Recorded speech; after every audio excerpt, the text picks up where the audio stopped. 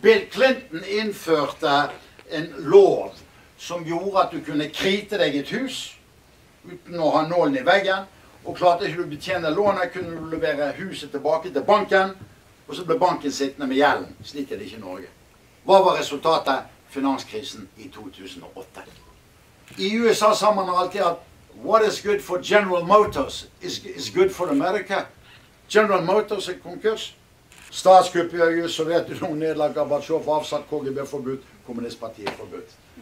Man spør meget bekymret sitter Gorbatsjov trygt i stolen. Og så svarte Leonid, som var Jeltsin-mann, tryggere han han fortjener. Jeg er ingen venn av Gorbatsjov.